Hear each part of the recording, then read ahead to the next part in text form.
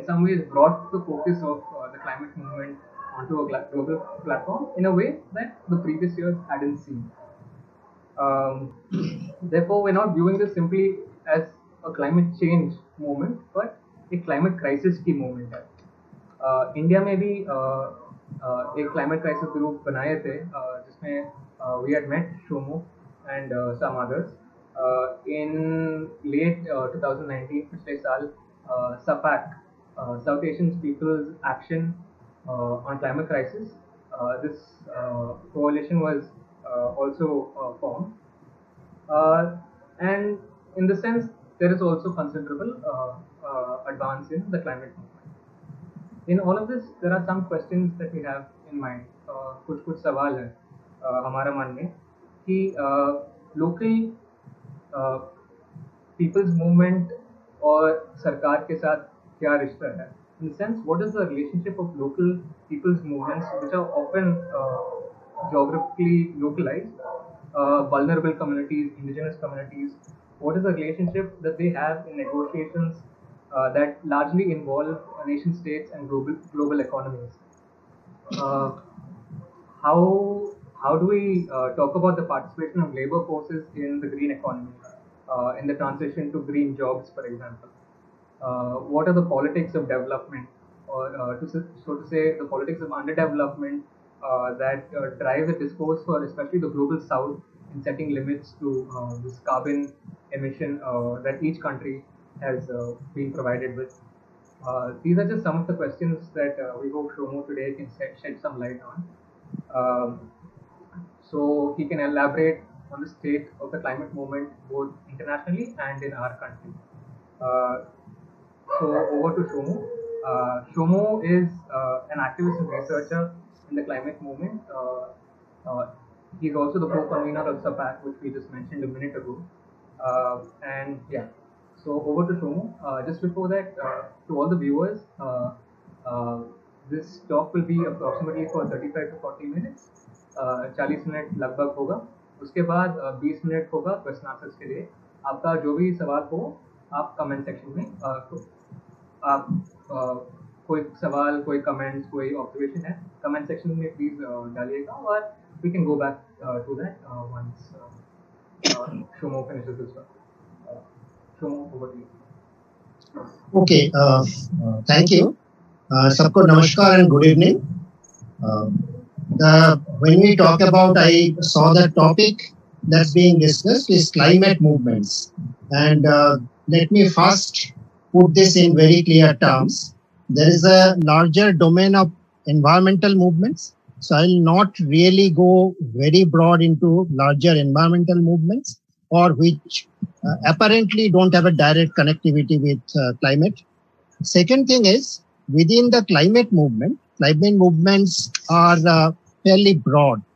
And uh, uh, unlike most uh, people today understand, climate movements didn't start with Greta Thunberg or around that time. It started much before that. Uh, and there was a uh, evolutionary process in the climate movement. So I'll very briefly, because most people are not clearly aware of that. So I'll just briefly bring out what are the climate movements. And also let me, uh, right in the beginning, uh, tell you clearly that within the climate movement, there is a section, there is a fairly good section, which is climate justice movement. So, uh, climate movements include the climate justice movements but the other thing is not uh, true. That is, climate uh, climate movements not necessarily mean climate justice movement. Many of the climate movements are uh, run by funding, run with the idea of transitioning the global economy to renewable energy, stop the carbon emission. But the idea of justice, कितनी न्याय है न्यायपूर्ण होगा वो इतना ज्यादा उसमें नहीं होता है तो ये तीन बिंदु मैंने पहले ही आपको सीधा करना चाहता हूँ कि एक तो ये इन पर्यावरणीय जो आंदोलन है वो थोड़ा सा और भी हिस्सा में जाते हैं। उसमें क्लाइमेट का हिस्सा छोड़ के वो मैंने आज टच नहीं करूँगा एक छोटा सेक्शन के लिए।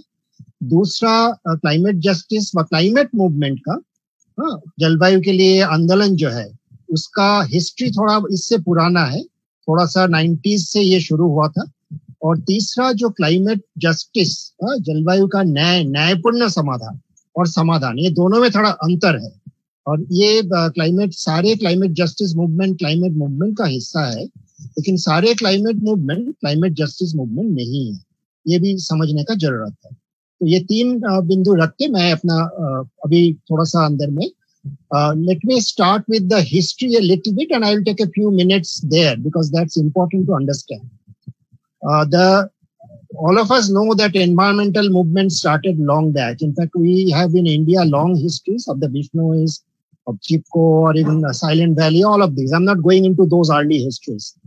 The climate movements if you can call them climate focused movements, focused on the problem of climate change at that time as it was visualized climate change and what is climate change and why, how to address that and how to address the uh, difficulties of people who are getting impacted by the climate change.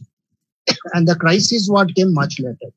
So this started in the after the 1992 um, Rio uh, Earth Summit, but late 90s close to 2000s. In fact, the climate justice movements and climate movements in mostly European countries and some Latin American countries started taking shape. And there were several constituents, uh, several existing movements which took a leading role, which needs to be understood, it needs to be uh, known. Uh, one of the major roles played in the climate movement in generating awareness, in bringing the issues forward, taking this into the UNFCCC domain and outside was played by the groups of indigenous people all over the world. And in this IEN, Indi- uh, Indigenous International Indigenous Network, Indigenous Environmental Network, they played a major role. It's based in Canada and US, but they have uh, different constituents in many countries. And it's an international group, and there are many other indigenous peoples network which are in touch with that. So that is one major group which took a major role. The forest people's movements, including the Global Forest Coalition and many others, including some from India, took a major role. And these all I am saying before year 2000, towards the late 1990s. Then there are several environmental groups, which were basically NGOs. Like they played a role, they played an important role, like Greenpeace uh, and others. Uh, and at that time, 350.org also came in. Uh, Bill McKibben's uh, tours also raised a lot of awareness. So these also helped in bringing up the climate movement. And at that point, the understanding and awareness of what is happening, what are the driving factors, and what basically what needs to be done to tackle the climate change problem. At that point of time, the justice aspect was not so clear. But tackling the climate change problem through what the what the UNFCCC called the official uh, uh, portals called the four pillars, the mitigation, adaptation, technology, and finance. So these were in the discussions. And it was very clear that the global economy at that point of time, it was roughly 84 to 85% dependent on fossil fuels.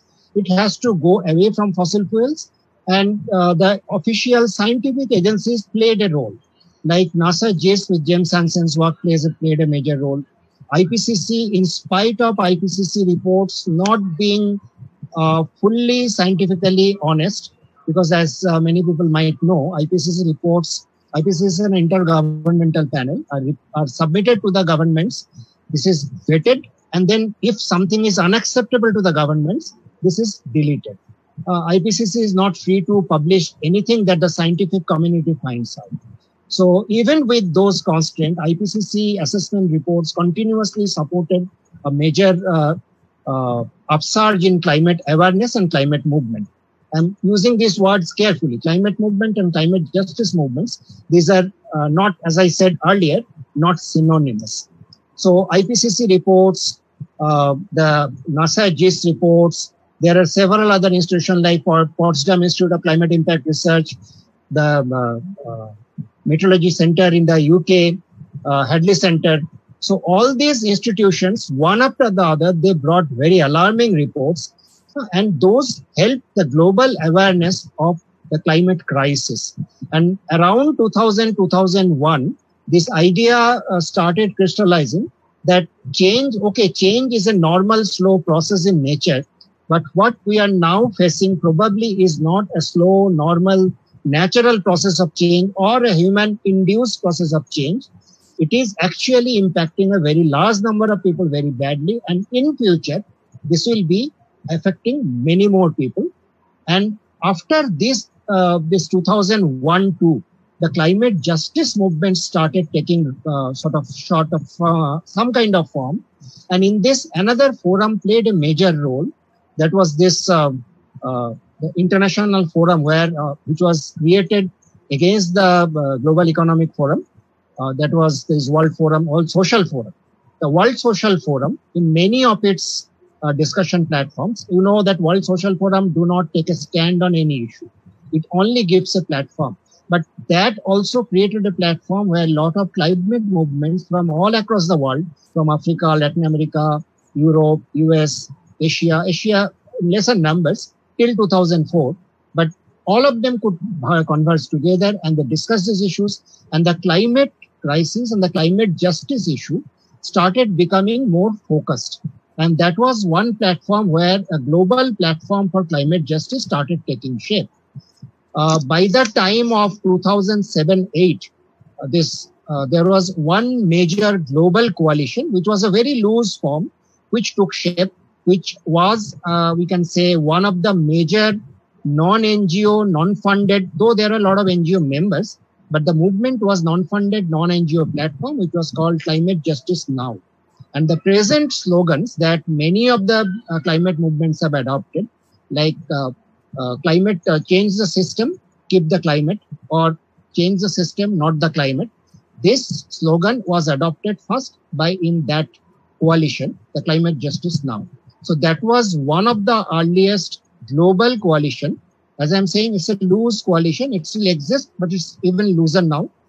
So that came into being and that gave platform to a lot of global groups which were very concerned about what is happening to the climate system and larger ecological crisis. Uh, they came together and they uh, had a platform to discuss and consolidate their idea and also to uh, focus on some action agenda. In this, another major group also, and Latin American, if you look at the political situation in Latin America at that time, lot of Latin American countries were having somewhat socialist governments at that time starting from Lula, later on uh, uh, Evo, uh, then Ecuador.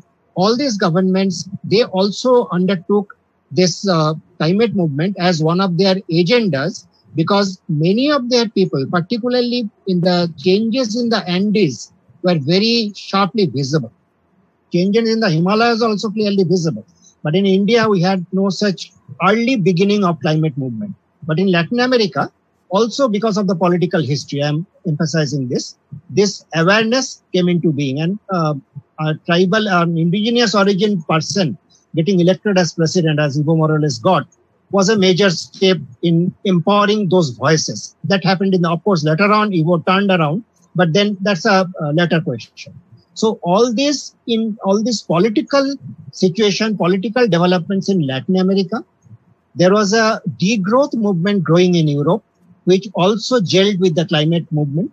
And the degrowth movement, though their focus was not, not only on the climate, but the larger question of capitalism and capitalism as a source of the climate crisis, as a source of the massive inequality, inequity crisis, these were crystallizing. So in the 2000s, starting from around 2000, 2001 till 2009, there was a rapid development of climate movement all across the globe and at this point of time in India see if हम थोड़ा सा भारत में भी ज़्यादातर ध्यान देखें भारत में पर्यावरणीय आंदोलन का हिस्ट्री पुराना है, इतिहास पुराना है। भारत में जन आंदोलन का इतिहास काफ़ी पुराना है। लेकिन भारत का जो जन आंदोलन, उसमें क्लाइमेट का मुद्दा क्लाइमेट क्राइसिस जलवायु का संकट, उस मुद्दा कभी भी इतना तेज़ी से नहीं आया। इसमें कुछ ग्रुप जैसे मछुआरे का जो ग्रुप है नेशनल फ़िश वर्कर्स फोरम उन लोगों ने ये मुद्दा उठाया, उनके साथ हमारा बातचीत, चर्चा आज से नहीं करीब दस साल से पहले से चल रहा है। लेकिन बहुत सारे ग्रुप में ये मुद्दा, पर्यावरण का मुद्दा आया, लेकिन क्लाइमेट, जलवायु का संकट का मुद्दा उतना क्लियरली नहीं आया। लेकिन साथ साथ 2005 के आसपास से भारत का कुछ शहरों में, हैदराबाद, दिल्ली कोलकाता में छोटा छोटा प्लेटफॉर्म ग्रुप तैयार होना शुरू हुआ। इसको Hyderabad platform, Delhi platform, Kolkata platform, ऐसे अलग अलग उडुपी में कुछ शुरू हुआ। जो प्लेटफॉर्म में एक फोकस था, जो जलवायु का संकट, जो climate crisis was one of the focus of this city based platforms and those platforms were sort of generating lot of discussion generating some kind of papers and some kind of writing small ones but at least they started discussing on the climate crisis and the climate justice and that was probably uh, the starting point of a climate justice focused some kind of a movement some kind of a uh, हलचल जो climate justice का आसपास में भारत में शुरू हुआ। और इसी के चलते 2008 और 9 में भारत में मैं भारत का थोड़ा सा क्योंकि भारत का हिस्सा करके फिर दुनिया में जाऊँगा फिर भारत का थोड़ा हिस्सा में आऊँगा। जो इंडियन सिनेरियो जो 2008-9 में पहले बार 9 में एक बड़ा सा मीटिंग जो इंडिया क्लाइमेट जस्टिस प्लेटफॉर्म जो फॉर्म हुआ, रांची में, झारखंड का रांची में एक बड़ा सा मीटिंग में, जहाँ भारत का करीब eighty three groups if I remember correctly और around seventy five eighty groups they came together और इस बा, इस मीटिंग में ना सिर्फ़ ज़मीन का चर्चा नहीं था, जल जंगल ज़मीन से हट के, लेकिन इसमें जल जंगल ज़मीन सेंटर था, लेकिन इस सब का फोकस था जल जंगल ज़मीन हवा सबको क्लाइमेट जो जलवायु का संकट वो कैसे जोड़ता है? तो ये पहला एक शुरुआत था जिसमें भारत में एक बड़ा स्केल में जलवायु परिवर्तन का जो संकट है, उसको फोकस में रख के एक प्लेटफॉर्म का शुरुआत हुआ। That was in 2009 and for the next three years if I am correct this platform was fairly active then it started becoming again inactive and now it is more uh, posting and uh, occasional discussion forum not much collective activity takes place but i'll also focus on a few activities which are important at the current point of time uh, let me just touch on that one of the important point as i said ये जो जलवायु संकट के ऊपर जो platform वाला India climate justice it still exist as a platform very loose platform इन्होंने कुछ मटेरियल जनरेट करना शुरू किया कुछ ग्राउंड लेवल स्टडीज़ भारत का क्या हो रहा है, कहाँ क्या हो रहा है? और यदि हम इस टाइम भारत का official if you look at the official records except the four by four study official four by four study which is a macro study हमारे पास भारत में what is happening in the climate what changes are taking place where how much what's by which speed these were not really know except this macro studies and uh, some of the predictions by purdue university some by ipcc which is very very macro level. So ye platform this uh, india climate justice they started also working on that. They started producing very simple uh, material awareness and education material. And one of the good things that happened, probably till now the only one, uh, systematically, consistently, they started bringing out a journal called Mausam, which was called Mausam Talking Climate in the Public Space. Uh, हमारा uh, हम लोग उसका editorial group का member थे अभी भी है target था this will be a quarterly journal this was a quarterly journal to begin with Uh, but for after two years or so, I think it became very uh, irregular. And over the last two, three years, we have not uh, brought out, there were material, but we have not brought out any issue. But there were seven, I think seven or eight issues which are brought up, which was a good contribution uh, to the debate of climate justice. Uh, because I, I'll remind you of the name, Mosam, Talking Climate in the Public Space. So ये जो था ये scientist का बीच में dialogue नहीं था जो इसमें साइंस का बात होता था इसमें ग्राउंड लेवल इम्पैक्ट की बात था लेकिन ये पब्लिक के सामने जलवायु परिवर्तन का संकट में क्या हो रहा है आप कैसे इससे प्रभावित हो? आपको क्या करना चाहिए? क्या कर सकते हो? इस ढंग का बात ये सामने लेके आया। तो ये, और इसमें please don't confuse that IMD India meteorological department also brings out a journal call Mausam but that's a technical journal on meteorology ये जो मौसम था, Mausam talking climate in the public space ये था लोगों के लिए। And language and everything was suitable so let me go back to the international stage again then I will come back to India and i'll request the moderator uh, 10 minutes before and 5 minutes before just say show me the number how many how much time so in this point of time see if you remember the copenhagen climate summit in 2009 that was the 15th conference of parties of UNFCCC. that was one of the turning points in two senses or three senses, but mostly two senses. One, uske pehle tak, till that time, globally जो official negotiation होता था, जिसमें UN का एक consensus था।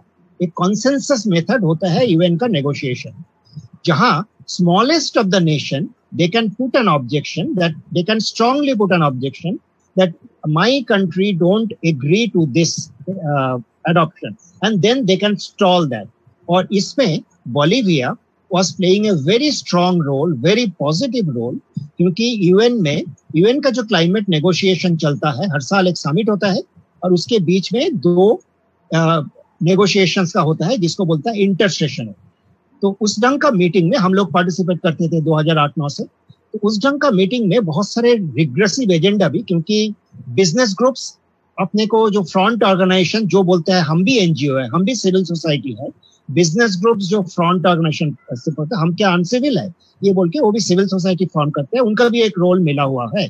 और business का नाम पे भी वहाँ एक रोल मिला हुआ है। This one of the constituencies even climate negotiation like farmers are one constituency women is one constituency NGO environmental NGO is one constituency business groups in one constituency research and implementation group they are on constituency like this constituencies are there so business groups started influencing the UN climate negotiation quite strongly.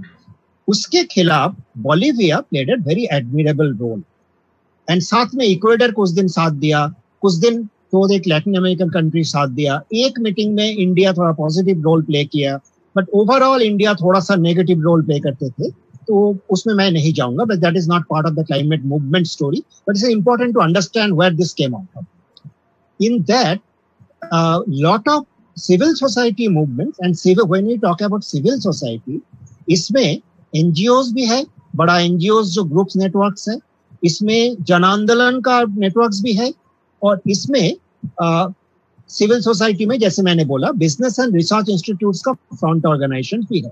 जैसे आप जानते होंगे in India most states they have they have state council of science technology environment several states तो वो registered as a society तो कहीं भी जाएँगे तो एक सिविल सोसाइटी जैसे रजिस्टर करेंगे। But that is an organisation promoted supported by the government तो ये चार किस्म का सो कॉल्ड सिविल सोसाइटी इसमें जुड़े हुए होते हैं। तो आपको ध्यान से देखना पड़ते हैं जो मूवमेंट जो बोल रहे हो सिविल सोसाइटी बोल रहे who are you actually and इसमें कॉर्पोरेट ग्रुप फंडेड बड़ा एनजीओ बहुत है। बड़ा एनजीओ ग्रुप जो यूएस से यूरोप से काफ़ी है। मैंने सबको नाम नहीं लूँगा, क्योंकि already I have written about that that generated quite a lot of controversy and when those come out there will be more controversies but I am not afraid of that but right now don't need to take every name so ये जो 2009 का Copenhagen इसमें जो जो major change मैं बोल रहा था, तब तक 2009 तक यूएन एफ़ ट्रिपल सी जो क्लाइमेट चेंज का नेगोशिएशन प्लेटफॉर्म है United Nations framework convention on climate change जो हर साल समिट होता है, उसमें एक कन्वेंशन चले चले आ रहा था कि कोई भी डिसीशन डिस्कशन कुछ भी हो सकते हैं, कोई भी डिसीशन कॉन्सेंसस में होगा। यूएन का एक प्रोसेस है। लेकिन ये पहला बार हुआ जो एक छोटा सा कोटरी जिसमें यूएस ने लीड लिया India China Brazil South Africa सभी को बुला के, एक साथ बैठा के एक डिसीशन लिया गया। क्योंकि बॉलीविया एंड लैटिन अमेरिकन कुछ कंट्रीज़ को जो एक रिग्रेसिव डिसीज़न लिया जा रहा था, उसको खिलाफ स्टैंड लिया था, इसीलिए डिसीज़न पास नहीं होगा तो जिसको हम बोलते हैं ग्रीन रूम पॉलिटिक्स कोपेनहेगन में क्लाइमेट नेगोशिएशन में ग्रीन रूम पॉलिटिक्स कोपेनहेगन से इंट्रोड्यूस्ड हो गया, जो कुछ कंट्रीज़ जो पावरफुल मेजर इकोनॉमीज बैठ के कुछ डिसीज़न लिया।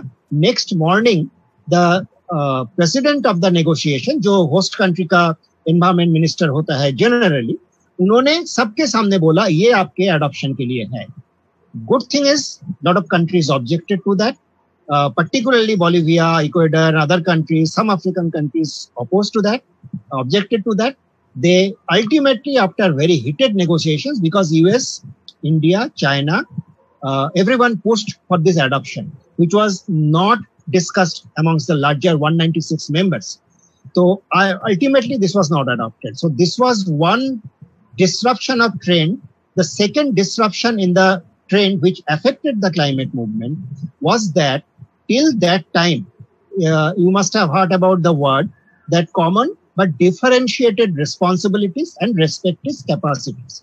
तो यूएन का जो क्लाइमेट नेगोशिएशन होता है होता है जब तक और होता था उसमें ये अडॉप्टेड था ये रूल अडॉप्टेड था भाई ये नॉर्म था ये सभी जिम्मेदार है इसको क्लाइमेट क्राइसिस सबके लिए मुश्किल है सभी देश को, सबके में सभी देश को इसको हल ढूंढना पड़ेगा, कुछ ना कुछ करना पड़ेगा।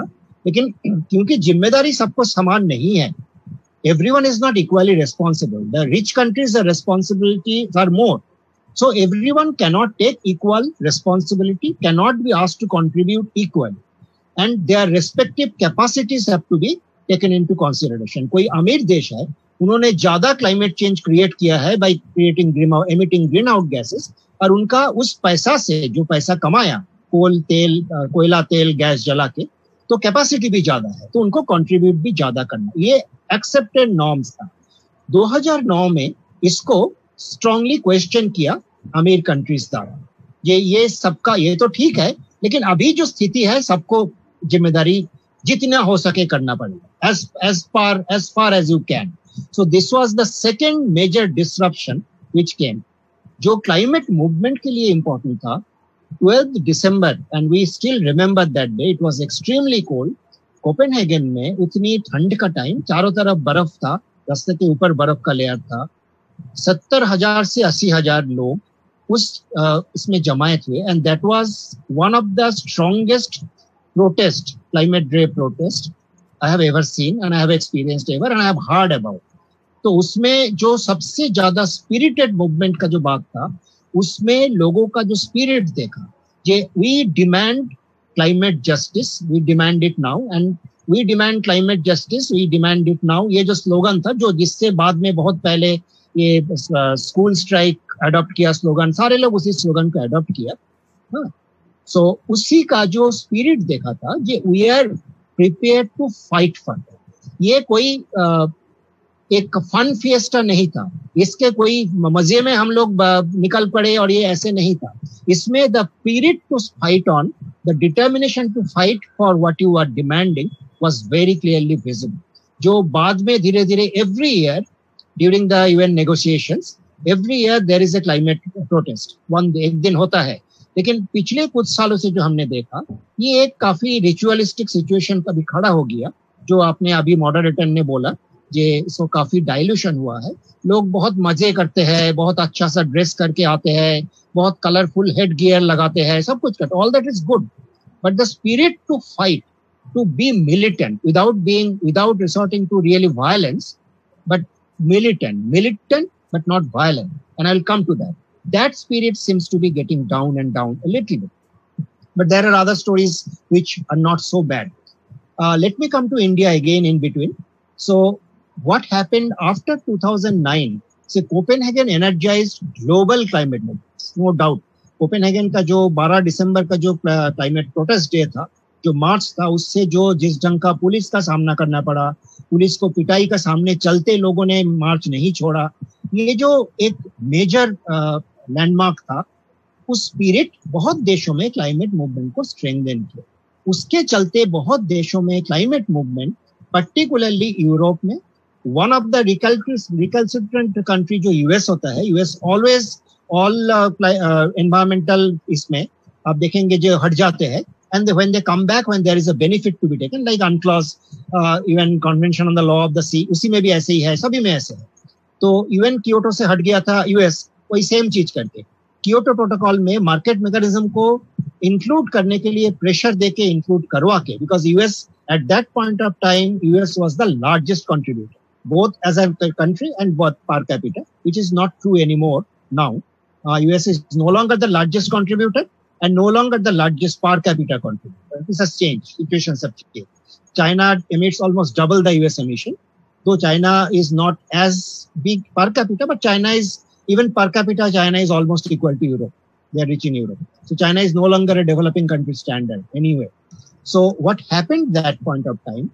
जो militancy जो नॉन वायलेंट मिलिटेंसी का जो स्पिरिट क्लाइमेट मूवमेंट को जो कोपेनहेगन से मिला उससे इवन यूएस में उसके बाद आप देखेंगे जो फ्रैकिंग 2005-6 से बड़ा स्केल में शुरू हुआ था जो हाइड्रोलिक फ्रैक्चरिंग फ्रैकिंग बोलते हैं जो इज़ वेरी वेरी डैमेजिंग जो फॉसिल फ्यूल को एक नया लाइफ दिया, क्योंकि उसके पहले फसिल फ्यूल एक स्टैग्नेशन में आ गया था।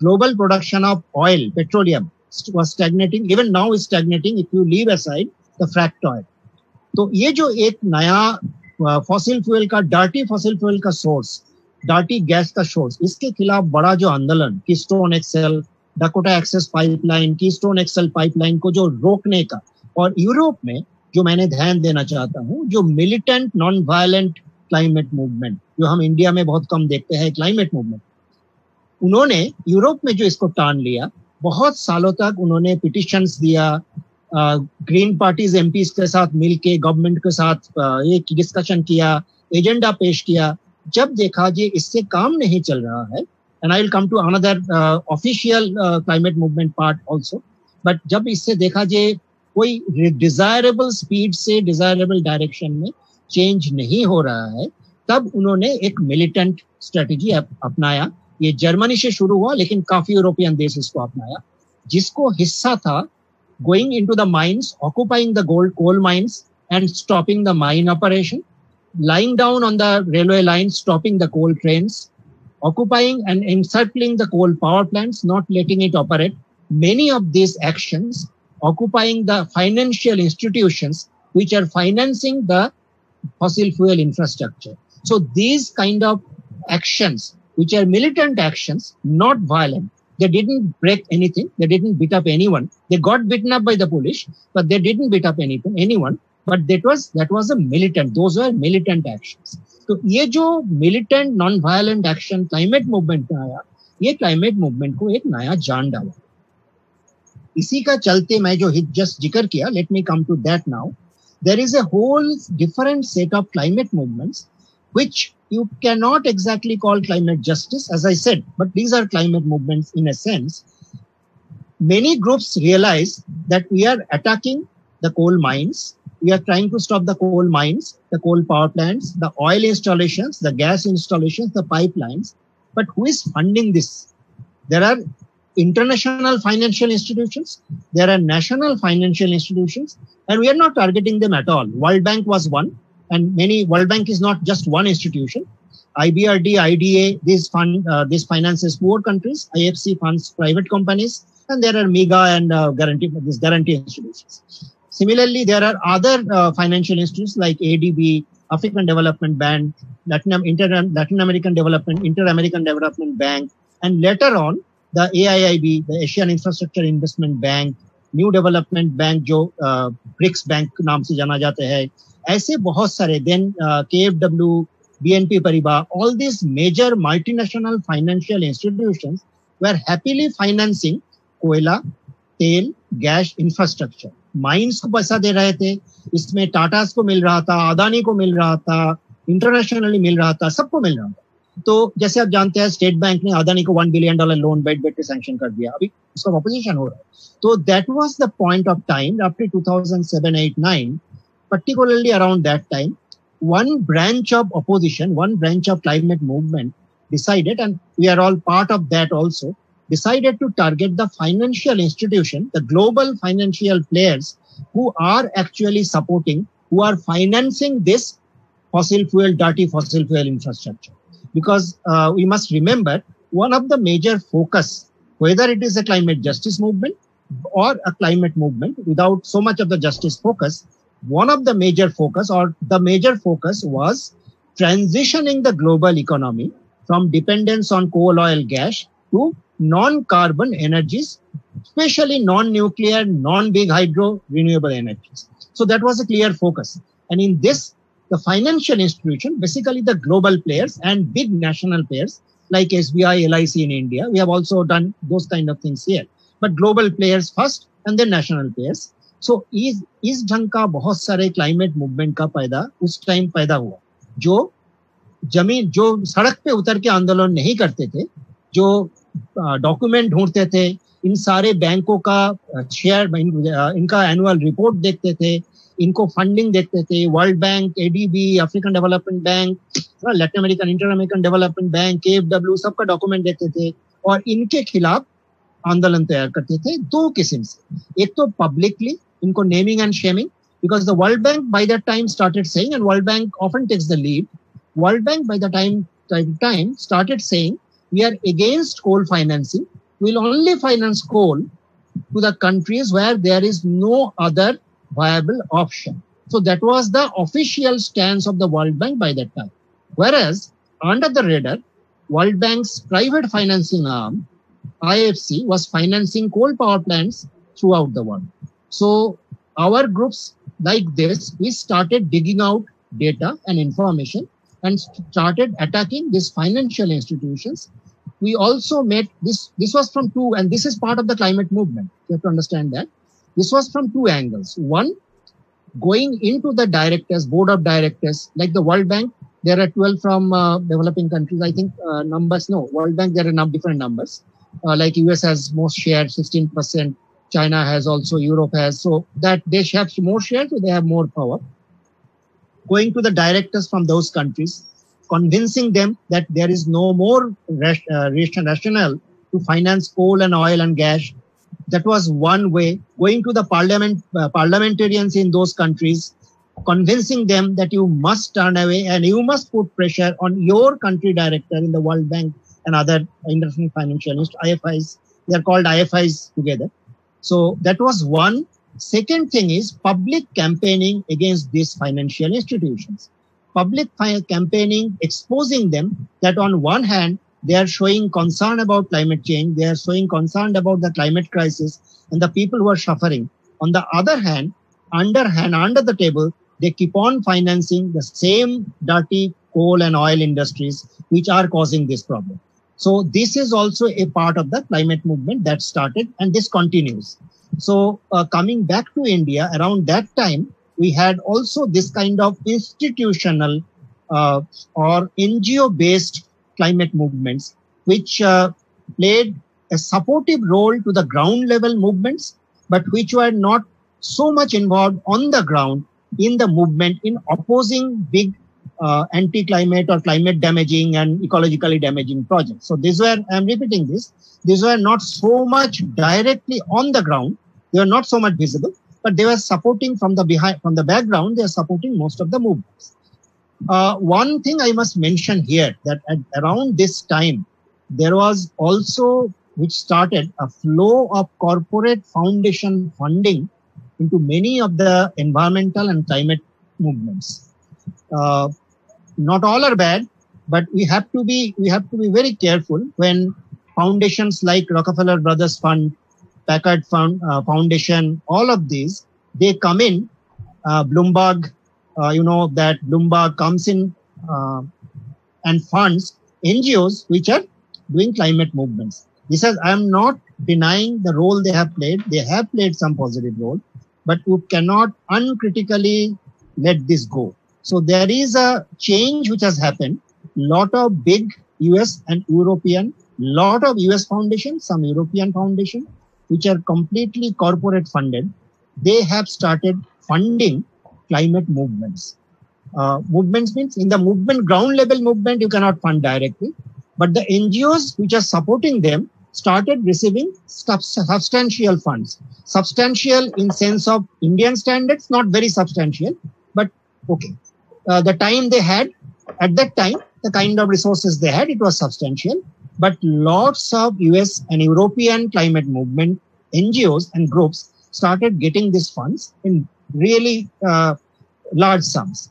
So this is one thing which uh, is not being questioned too harshly. It's uh, still being questioned, but it's not investigated too clearly, which needs to be done. And this, uh, I'm not very sure, but this probably has played a role, probably, in toning down the climate movements in several countries, in several areas. Let me down come down to uh, quickly to the recent happenings, recent month of last two years, three years, and some kind of tensions and conflicts that has happened. Uh, all of you uh, probably know most uh, best, uh, uh, most well or best the school strike, the Fridays for Future, and the Extinction Rebellion. And probably many of you think that these are the first climate movements, which, as I said, these are not. These started in the 90s. Uh, when these started, all of them got the material benefit out of this climate justice movement, as I said, And there are many other NGOs like CAN, Climate Action Network, and others. As I said, the forest groups, the indigenous environmental groups, the fish workers groups, which took part very clearly globally in the climate justice movement. And they brought in particularly the indigenous environment network and their associates, the forest group, and one group, major group I forgot, Via Campesina. So the small farmers uh, movement in Latin America and their associates. Of course, in India, their associate is no for small farmers. It's a BKU. So BKU is not a small farmer organization, which is a dichotomy, but I don't want to go into that. But in most countries, it's a small and marginal farmers organization. And they also brought in the climate justice angle.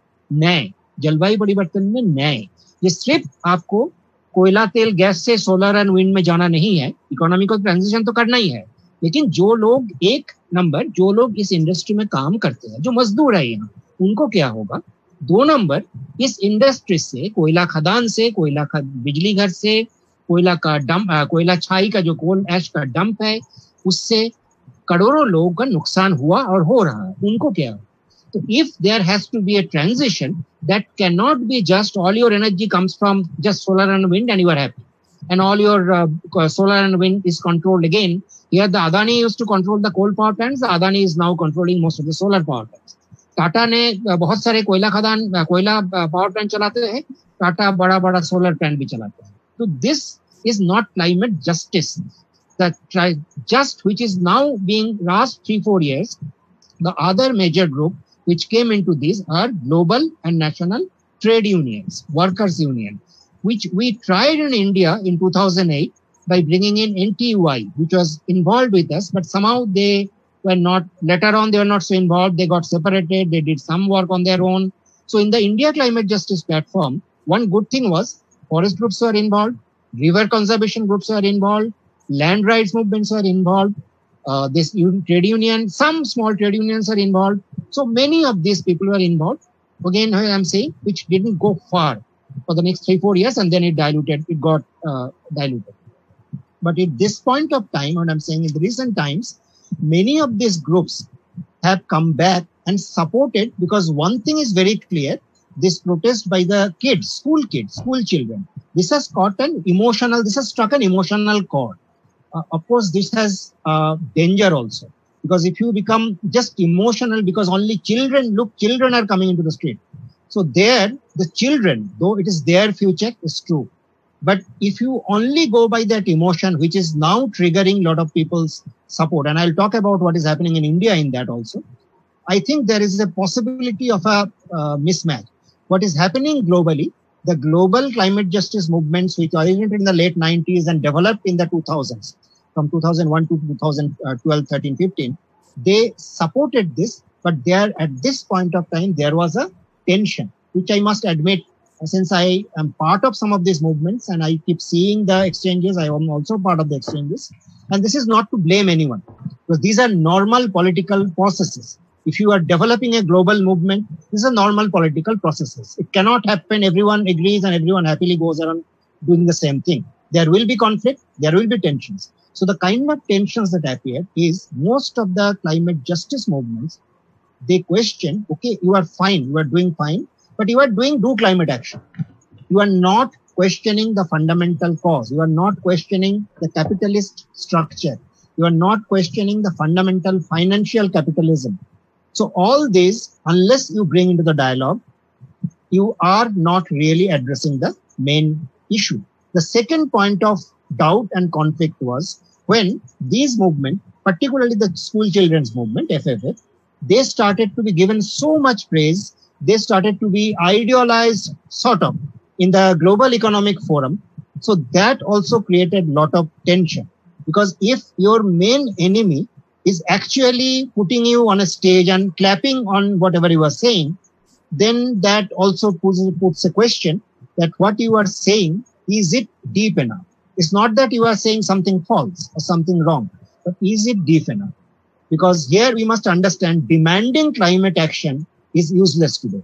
Every country, every government, including Bolsonaro and Modi, Modi always says he's taking climate action. He even changed the name of the ministry, uh, brought it to from Ministry of Environment and Forest. He made, made it Environment, Forest and Climate Change. So uh, every regressive leader, every regressive policy puts climate action as their cornerstone. They said, we are taking climate action. Well, just by having the Solar Alliance, we are taking climate action. So all this we have to question. Don't go by empty rhetoric. Whenever you are demanding something and putting an action agenda, go little deeper, go deeper, understand what needs to be done, what transformative changes you are asking for, or you are just asking for climate action. Climate action can be many things, and that can happen. Climate action can be shutting down something which is not viable and putting thousand people out of jobs. That can also be a climate action.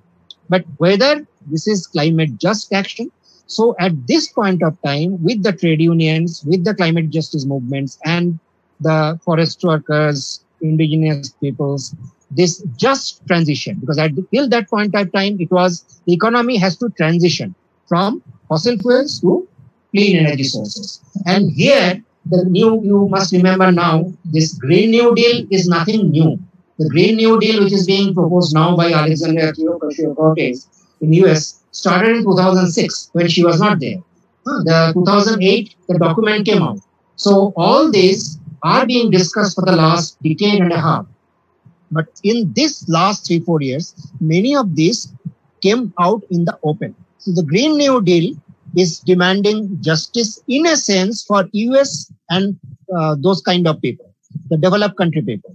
But what they will do and how that will uh, impact the people of less developed countries, the poorest countries, that's not part of the Green New Deal.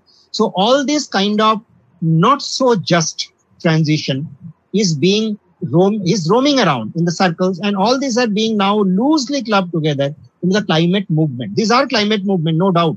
Even if you don't bring in the justice aspect, for a short while you can have a climate movement. But then you can't put 50% of the population in even more distress. They are already in distress, and you can put them in even more distress and say that, okay, this is a sustainable movement. So what we now need to bring in is a just transition and from climate movements of all sort, go into climate justice movements, looking at more deeply what are needed. In the transition is needed, there is no doubt about it. But in this transition of the economy, how the transition will take place, how a redistributive economy will come about, because we know very clearly absolute growth is stopped. If you have any respect for the economy, because the global uh, ecological footprint that is available is around 12.2 billion global hectares today, and that gives around 1.67 per person today with 7.8 uh, billion people. But today our footprint is 2.78 global hectares per person. So we are eating away the earth from August 1.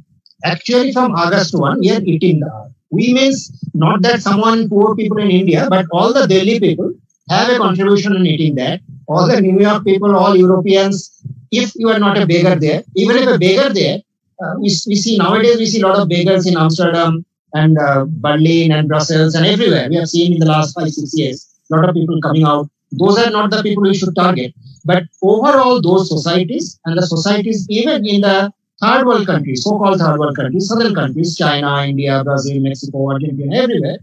These are people who are contributing to this eating of the earth. So absolute growth is no longer a possibility. But the 35 to 40% of the people who do not have access to basic minimum dignified level of sustenance and they have to be provided that. So how do you give them that growth? They have to be given that growth, but the earth has to come down as a whole, our society. Our society's global consumption has to come down as a whole. So this has to be a redistributive growth not absolute growth. Those deeper issues, how you do justice to the workers, मजदूर जो काम करते हैं जो कोयला खाना कोयला खदान में भी काम करते हैं उसने कुछ तो फ़ायदा पैसा कमाया कुछ तो फ़ायदा लिया लेकिन नुकसान भी किया और कल यदि कोयला खदान बंद कर दोगे तो मजदूर बेकार हो जाएगा। लेकिन उनसे भी ज़्यादा खराब हालत में है उस कोयला खदान खोदने का टाइम जिनको ज़मीन आपने लिया था जिनको जंगल आपने काटा था वो तो बेचारा ना उनको पैसा मिला ना उनका कोई उससे फ़ायदा मिला उसको खाली नुकसान ही हुआ। तो उसका खेती में भी पैसन किया उसको लंग्स में भी पैसन किया और वो मर गया कहीं शहर में मजदूर होके मजदूर भी नहीं हुआ तो कहीं फुटपाथ में है। तो just transition has to marry all this together it has to i'll end by saying this it necessarily, and as we now by now know, by IPCC report, which I am saying IPCC special report, which came out in 2018 uh, October, which says 2000 by 2018, sorry, 2030, if we don't start going down by limiting to 44 gigatons and going down sharply, there will be no chance of going back. And uh, now we know that IPCC special report is conservative. So the IPCC assessment, the next assessment report five, it will be another shock. So how do you do? We cannot absolutely grow. We'll have to give. So the political system, the political and economic system has to change. It's not only the coal, oil, gas. It's how it is controlled, how energy systems are controlled, who controls this, how access to energy and access to food and access to basic services is uh, decided and determined and controlled. All these systems will be part of the just transition. It's not an easy task. It's a massive task. Globally, we have never faced this kind of task. Globally, we have never faced an energy transition like this. Forget about the justice. When we, in human history, there are two energy transitions. First from wood, uh, first from uh, non uh, sources almost just sun to basically wood and little bit of wind power and little bit of water power to a phased transition to coal, oil and gas. That took 150 years we have to do a transition in 30 years. It's never been attempted in human history and global economy size is immeasurably bigger today than it was in 1800. That's another major obstacle. So these are challenges, but there is no other choice in front of us because if we do not do it, if I do not really do it with all we have today, then after another couple of decades, okay, we'll probably be either very old or die out. But all the people who are listening, maybe younger people who are listening, and these school uh, school strikers and all of them and even younger they will be facing a world which is extremely difficult. And the warning sign i'll finish by saying warning signs are coming. Globally insect populations are collapsing massively. 16% of the insect population out of uh, 13 lakh uh, known species around 9.5 lakh are insect species 16% have lost their range already so bee populations are collapsing you know bees are major pollinators for fruits and vegetables. Uh, in India, if you look at Bharat में देखें भारत में जो north Indian cyclone season शुरू होता है अप्रैल का and से एक महीना का लगभग एक महीना का अंदर दो मेजर साइक्लोन आया वेस्ट बंगाल में साढ़े दस लाख मकान कंप्लीटली ध्वस्त हो और कितना लाख जो पार्शियल डैमेज हुआ। तो ये सारे चीज़ एक के बाद हमारे सामने आते जा रहा है, आते जाएगा। जो अटलांटिक हरिकेन सीज़न जून एक से शुरू हुआ, तीन दिन के अंदर तीन बड़ा स्टॉम्स वहाँ आए हैं। Cristobal is the third major storm which has come into the Atlantic hurricane season तीन दिन में तीन बिग स्टॉम जो हिस्ट्री में कभी नहीं, हमारा नॉन हिस्ट्री में कभी नहीं हुआ। तो प्रकृति बहुत क्लियर सिग्नल दे रहा है। क्लाइमेट कोई लॉकडाउन में गया नहीं। हमने ग्लोबल अब ये जो लॉकडाउन बनाया कोविड नाइन्टीन के लिए हम घर में बंद हमें बंद कर दिया थोड़ा बहुत कर दिया। इकोनॉमी को बंद कर दिया थोड़ा हद तक। इकोनॉमी पूरा बंद नहीं हुआ क्योंकि पावर प्लांट चल रहा है सप्लाई चल रहा है। लेकिन क्लाइमेट क्राइसिस लॉकडाउन में नहीं गया। क्लाइमेट क्राइसिस बढ़ते जा रहा है। Greenland Antarctic Arctic six times the ice melt rate than 15 years ago. So in Himalayas, every 15 years, the ice melt rate is doubling, and maybe this time it will be more than double. So the signals are very clear. आपको पानी आपको सुरक्षा कैसे घर है आपको बचेंगे कि नहीं आपको खाद्य सुरक्षा because insect population collapsing means आपको खाद्य सुरक्षा में बड़ा आघात आएगा और जो टेम्परेचर बढ़ रहा है जो मजदूर काम करते हैं बाहर बाहर में करीब तीस करोड़ मजदूर भारत में आउटडोर वर्क करते हैं हीट एंड ह्यूमिडिटी का जो कॉम्बिनेशन जिसको बोलते हैं जो किलर कॉम्बिनेशन उसको आप भारत का दक्षिण हिस्सा में बहुत बड़ा हिस्सा साल में कुछ दिन ऐसे आएगा जो कोई आप बच नहीं सकता बिना कूलिंग का, काम नहीं कर सकते हैं। उसमें क्या होगा?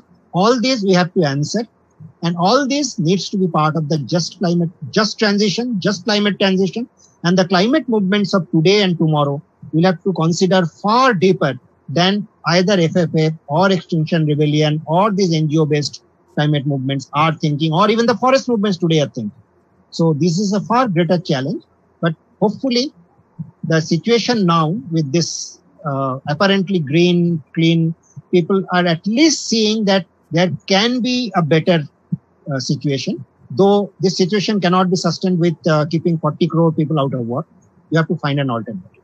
So that's a challenge in front of us. Thank you.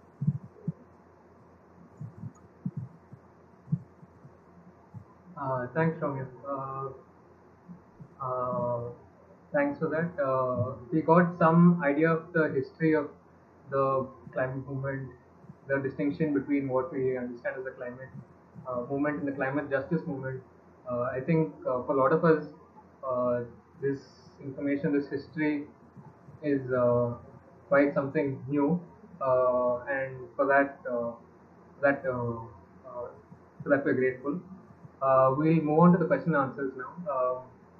Uh, I think one of the questions that have come is related to the last bit of what you talked about about uh, extreme uh, uh, climate events. Uh, Gayatri is asking, what do you have to say about the fact that media coverage around climate science and natural disasters like Cyclone Amphan and Nisarga takes place only in the middle of or in the aftermath of disaster when there is public outrage? Uh, Uh, so yeah. The question is uh, about Amphan and Nisarg. Is the media taking it after only, or not? Is that the question? Uh, I'll just repeat it. Uh, she's asking, uh, Gayatri is asking, what do you have to say about the fact that media coverage around climate science and natural disasters, like the cyclones, uh, take place only in the middle or in the aftermath when Yes. uh, when there is a public outrage? Uh, See, uh, this is a long-standing complaint that I had with many of my media friends. In fact, many media people, media journalists, they talk to me, many other uh, activists, and they when they do want to do some stories. And we also had this long-standing complaint कि आप जागते हो जब event हो जाते हैं हाँ, जब आपको धक्का लोगों को धक्का पड़ता है तब आप जागते हो तैयारी क्यों नहीं करते why don't you do preparation हाँ your play your role in preparation तो इसमें कंप्लेन हम करते हैं लेकिन you have to also understand the media's position कोई भी मीडिया जैसे मैंने अ, मैं एक पर्सन एन एक्टिविस्ट ग्रुप का एक रिप्रेजेंटेटिव मैंने बहुत साल से ऐसे बहुत सारे स्टेक होल्डर ग्रुप जो है उनके साथ ये बात लेके बात कर रहे हैं। जो कोस्टल ग्रुप्स है उनके बहुत साल से मैं बोल रहा हूँ साइक्लोन्स ज़्यादा होगा साइक्लोन स्ट्रॉन्गर होगा आपको हाउसेस देखिए, ऐसे है। मैंने सुंदरबन में वेस्टर्न कोस्टल में आंध्र प्रदेश में ओडिशा में, हर जगह में ये बात किया। ये पिछले दस साल से। लेकिन लोगों ने इतना ध्यान नहीं दिया। तो ये एक, जो हम बोलते हैं नॉर्मल टाइम में आपको एक चीज़ देखना पड़ेगा, जो भारत के साथ व भारत जैसे देशों के साथ the country like India and Europe there is a difference here, a major part of the population and media has to serve what the population demands. Media very rarely media really creates an agenda. Some media does like guardian is now trying to do and hats off to them for that. But zyadatar the media plays a role and media looks at people what they would like to listen. If you create a sphere what many people called a fear psychosis ye ho jayega you will be destroyed your houses will be blown away. So media don't want to create this kind of what they call a negative feeling. What they would like to do more is a positive story. That what you can do in a positive sense. And in that, many of us probably have not always succeeded. Because when we talk about, because we are seeing what is happening, we are seeing what is going to happen, we feel this major danger has to be highlighted. But from the media's perspective, because there is no danger right now and the people there their first priority is earning today's income giving food to the family so for them creating a fear is not attractive to the media so this you have to understand but uh, while saying that i must say there are some media groups which occasionally come out with this uh, express sometime did that telegraph sometime did that even this Tribune, uh, which published from Chandigarh and some other places, they did that. But overall, uh, and I don't know, I don't see television for the last uh, eight, 10 years. I don't have any connection, so I don't know what television is doing. But I know what roughly print media is doing. And you have to see that over the last few years, what are the priorities? One, major attacks on the constitution, major attacks on Muslims, minorities and Dalits, major attack on democracy, any voices. So those obviously got much, much more highlight than one would like to see in the media uh, would be crisis. And it's not only media, I'm repeating this and ending. Even the people who suffered most by Amphan, I talked to them in January 2020 exactly about this. I was in the Sundarbans, Indian Sundarbans, and then February I was in the Bangladesh Sundarbans. And they listened and they forgot. So only after Amphan, they called me up. So this is normal reaction in normal times. When the abnormal times come, people will wake up. And media will respond, hopefully.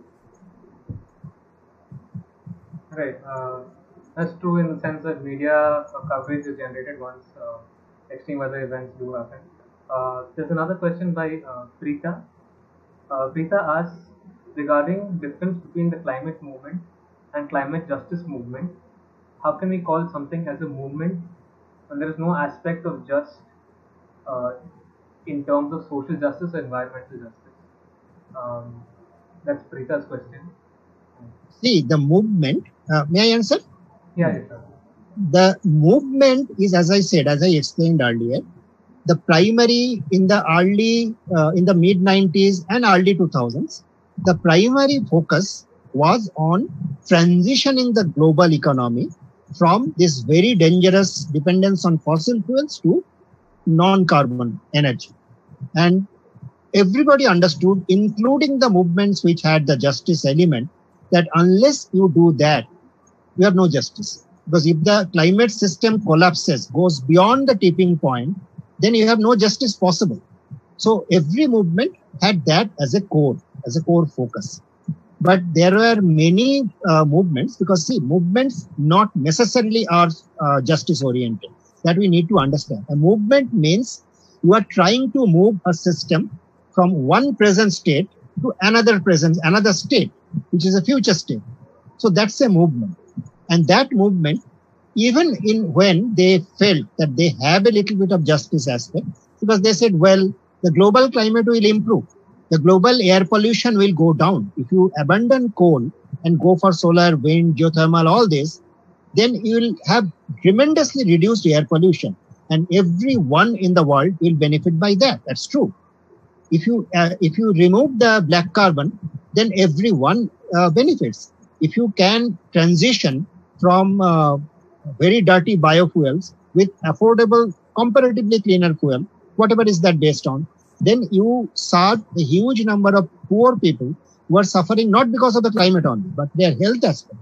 So these were built in, but the focus was not the justice. Whereas those movements which were focused on the justice, many of them to some extreme points, they their positioning was without a justice focus, a transitioning of the economy is not worth it. Though they, they also were very clear you have to do it, but they said this is not sustainable because then this 40%, 30%, whatever is that population is left out of any access or affordable access, then where do they go? They'll have to go to the dirty fuel again, or they have to go do something else, or they have to take up weapons or whatever. So there were movements which were not so focused on justice. I'm not saying they were injustice. They were they were not saying that we'll do injustice and do a movement transition. No, but their focus was not on justice. Whereas there are movements by the forest workers, forest peoples, indigenous networks, to some extent fish workers, not so much, and some of the groups which focused simultaneously, equally strongly on the transition and the justice, just transition. Where the unions came in, they added the workers element Others are now coming in, adding the impacted people's element. Right. Uh, there's a question from Malvika. Malvika asks, do you see hope in the various indigenous groups, like groups in the Amazon, that are raising their voice against forest destruction? See, uh, it's not only indigenous groups, it's the kids, the children's group, the school children, college students, their groups, the indigenous movements, the fish workers movements, any stakeholder. And one good thing, uh, again, I forgot to mention that I must bring it here. See, there was a there is a difference between countries in Europe, US, and here. If you look at it, people from in US and Europe, people from roughly the middle class, because US and Europe, middle class is the overwhelming majority. And most people don't have an existential financial problem, except now. With this COVID crisis, many people don't have food that we know. 32 million people in US have uh, enrolled for food help, food aid.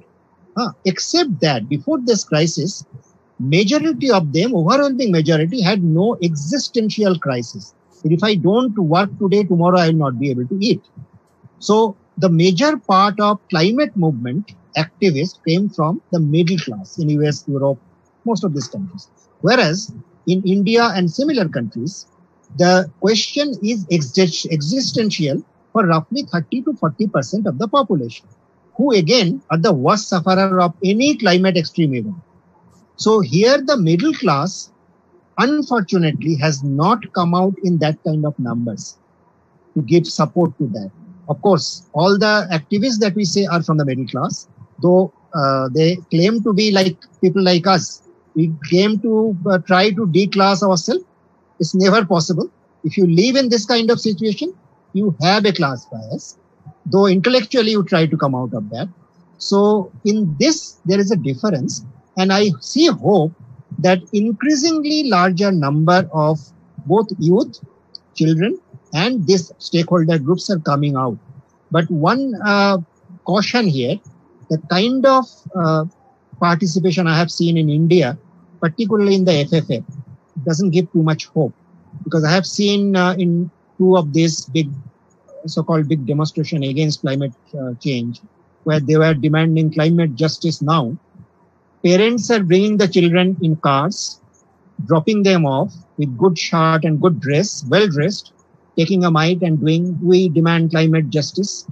After one hour, going back, having an ice cream or a Coke or a Pepsi, going back home, having a self, uh, in between having uh, 10, 12 selfies, that's not the climate justice movement is going to success successful. It's not going to be successful in that manner. So in India, unfortunately, particularly the school children's movement, I see a little astray. Though again, there are a lot of back and forth which is going on. There is in uh, questions being posed to them, suggestions being given to them. Sometimes they respond back. Some of the people involved, they are thinking, they are questioning their international leadership so those are positive signs. So I am an eternal hopeful. Uh, uh, I am eternal optimist. I can't. Otherwise, 20 years ago, I would have lost hope and left. So I see a lot of hopes. And see, at this situation, this is my last comment on your question. You can't leave hope because if the moment you leave hope and say, okay, this is a pessimistic situation, the battle is lost. Um, right. Uh, connected to what you just talked about uh, in the last bit, uh, some of the questions that we've been thinking about is also around consumption that you also touched upon uh, in your talk. So when we are in school, the sort of uh, narrative in the environmental science textbooks talks about some sort of consumption. Uh, later, when we come into universities and college, uh, the focus of our politics and our sort of university education is some something around forcing the government, some sort of systemic change that involves the economy and thereby the focus on individual consumption is lost. Um, somehow, in all of this, I mean, I think right the, the, the move when we call for systemic change, we we we don't think of individual consumption as much. Uh, so, do you have anything to say that may bridge these sort of uh, two? See, this is an important dialogue, important discourse, and I think I hope this will be taken up in within your group and you will continue there. But let me just point out something. Individual consumption is very important. Like if I go into practical, what is actually happening now? Most of the climate activists in India and the world I know of, particularly in India, they move around in cars, their family cars. Uh, many climate activists regularly fly around, even when you have a 12 hour train journey, overnight train journey available. I'm not talking about now COVID situation. Before that, normal Indian situation. Or not only India, Bangladesh. Many of the climate activists, uh, I continuously say they are in US, they are in Europe, they are in there, they are in there.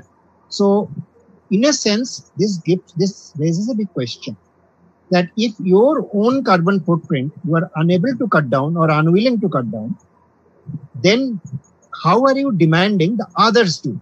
Oh, this is again that same thing uh, that it's for others to do. Oh, it's a famous saying that it's for everyone else. The actions are for everyone else. I will say I will not follow that. But that's an important aspect. You must, what you preach, you must at your, with the best of your capacity, you must try to do that. But also let us understand that an individual's change will not affect system change. So don't mix this together.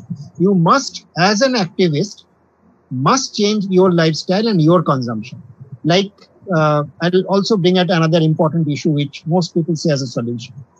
But unless you simultaneously try to force the greater consuming society's part, the greater part of society which are high consumers, there is a, a rough estimate that roughly 80% to 84% of Indians don't consume above the sustainable level. Roughly 10% are confirmed over consumers today in today's situation, which for China it is nearly 30%, 26, 30%, which for Japan it is 85%. So every country you can calculate this and this can be translated into money. How much you earn, how much you spend, and what is your consumption Uh, it's important to bring down your consumption. It's more important in your circle to raise this awareness and try to see that all of them bring down this consumption.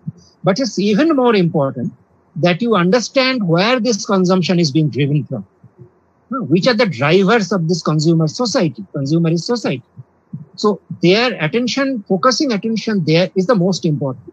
But again, not uh, forgetting that you, you have to have to do this and your immediate circle has to do this. And last comment is, see, the moment you say what is the solution, the most uh, used, I have done this in many of the uh, climate shalas that I have conducted in large number of places in India with rural youth, with urban youth, uh, with many others.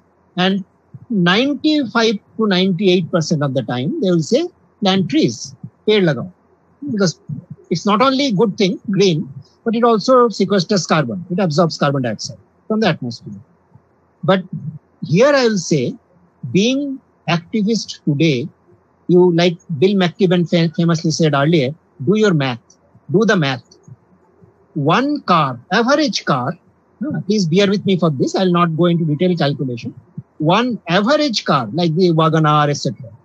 Average family, middle class family who owns a car, either they live Bangalore, Chennai, anywhere, Kolkata, they run roughly 10,000 kilometers a year. Roughly. That's the average we have estimated.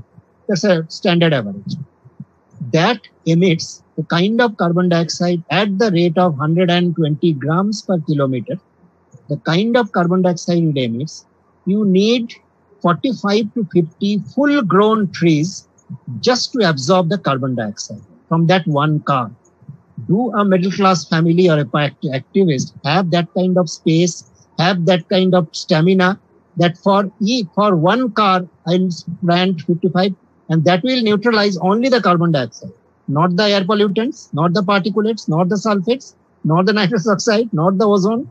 So this simplistic solutions often are placed. It's not only the car, paid, uh, paid lagao, dharti bachao. I'm not against paid lagao. Planting trees is a very good activity, but planting trees can also be dangerous. If you do plant trees in grasslands and try to convert a natural grassland into a forest, you can have dangerous consequences. But that apart, do it scientifically understanding building is extremely important. Do something with rhetorics is not to be done. And believing in this kind of oversimplistic solution is not to be done. Another oversimplistic solution is solar lagao desh bachao, solar lagao climate bachao. It's not going to happen like that. So everything you have to go deeper, understand all the linkages, backward linkages, see all the connections, and then decide, yes, this is a long-term sustainable climate justice action. Right. Uh, we have another question from uh, Rita, uh, who's asking, do you think corporates can withstand climate crisis with their techno-capitalism? See, uh, uh, my answer to this will probably vary from many others. My answer, simple, shortest answer will be yes. Uh, probably you don't know what is going on in the corporate world. Most people here don't know. Uh, since last two years, since I was also member of an advisory board of a UN body, uh, UN Climate Technology Center, I was, I'm still member of the advisory board. And uh, because of my technical contribution, uh, other UN bodies also invited me to something called GSTIC, Global Sustainable Technology and Innovation Conference, which happens once every year. Uh, 2019, uh, when I went to Brussels to attend that, I was invited to strengthen the technical team of the UN Climate Technology Center and some other UN bodies. This is not did, uh, organized by UN, though the UN bodies participate in that. The kind of technologies, the kind of strategies, the level of preparation, sitting down in any standard place, you can't even imagine. So the corporates today are planning their climate cost. Like the CIA has a detailed, very detailed study of what will be the climate impact on the Pentagon and CIA together. They have a very detailed study. Every big corporate today has a very detailed study of what are going to be the climate impacts, how they are going to change. Even companies like BP and Shell are talking today about transitioning to a renewable economy, and they will do that.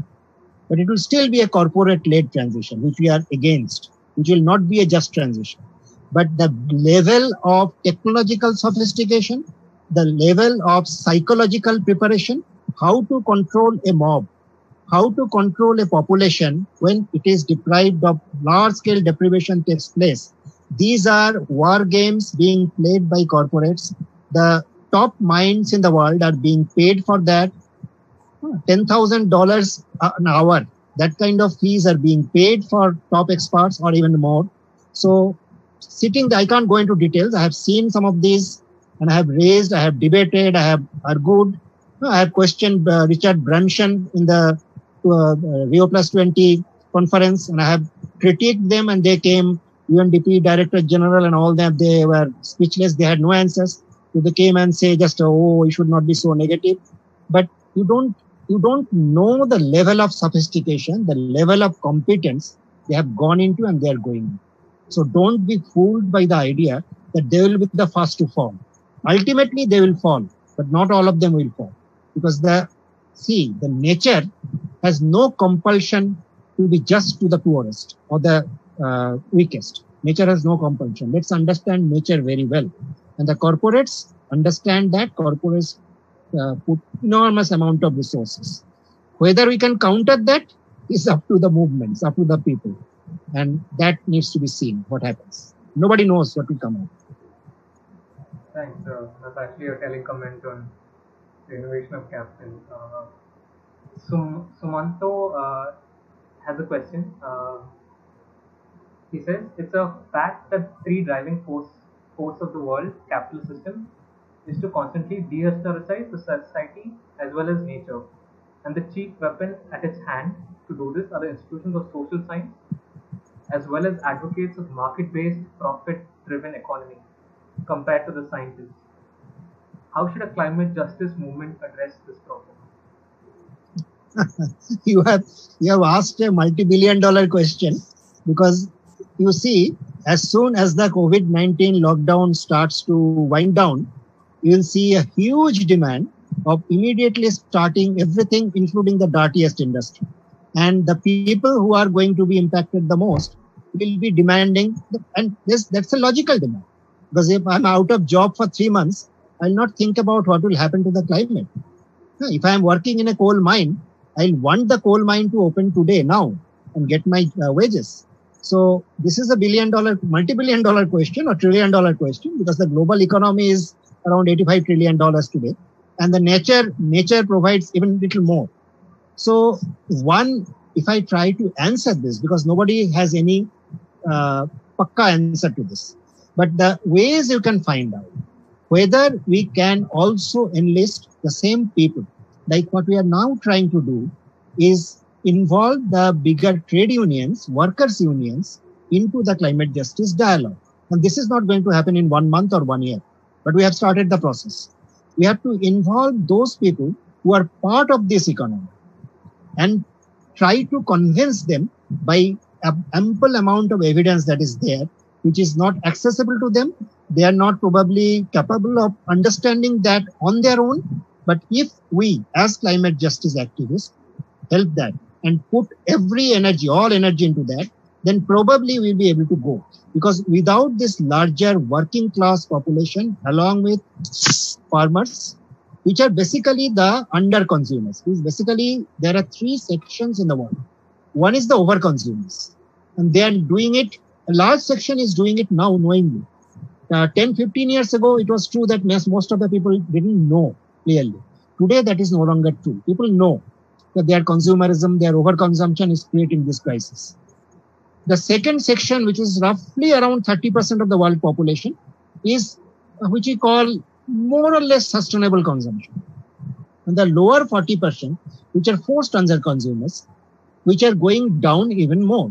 And what happened in the recent past, in the last one to one and a half years to two years, is even the middle 30% has gone down a bit. In fact, that is what is uh, fueling the protest and the new Green Deal, etc., demands in the US. If the middle 30% and the upper 30% they were happy, US don't have that uh, lower 40%. US have that lower 15%. If that middle layer was happy or reasonably happy, the movements in the US and Europe and other economically well-off countries would not have happened. So, as I said, this large segment we have to address somehow. Today, we have to also forget to some extent, not forget completely, our differences.